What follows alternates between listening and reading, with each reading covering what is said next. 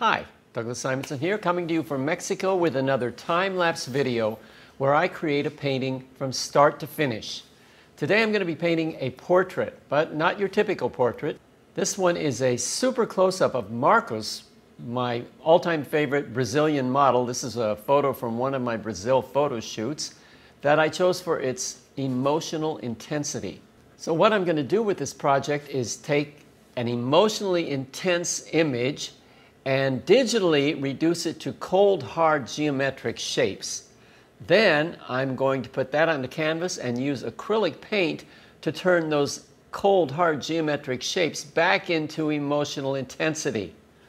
Or something like that. We'll see what happens. Here's the photograph I started with. Not that great an image, but I wondered what would happen if I zoomed in super tight on the face. And when I did that, I liked what I saw. I thought that would be fun to paint, especially if I painted it really big and using my digital geometric approach. Let me show you what I mean by that. First, I tweaked the image using Photoshop. And if you'd like to know more about the specific steps I take in Photoshop to do this, check out my video on YouTube using Photoshop to make your photos easier to paint from. What I do, the process I use, takes a continuous tone photographic image and transforms it into flat tones. So when there's a transition from light to dark, you see it in several stages. Every different value is a separate area. This was my starting point for a process that actually took a couple of days. Using a digital tablet and Photoshop's lasso tool, I took every one of those separate little areas and turned them into geometric shapes.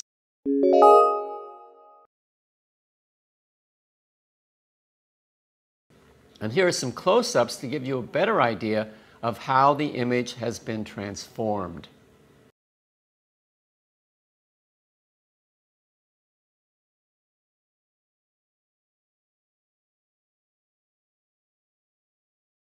Once that was done, I proceeded with my usual routine. I transferred the image to canvas using pencil, and then I painted over the whole thing with a thin acrylic wash as a preparation for actually starting the painting. And that's where this time-lapse video begins.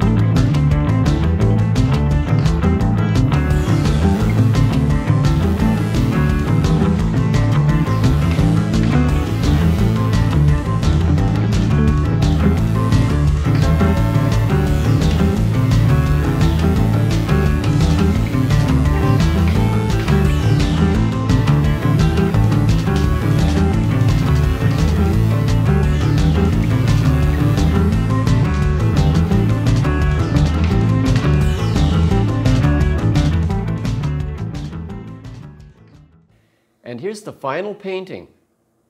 I've titled it Alpha Male. This painting was not yet sold when I made this video.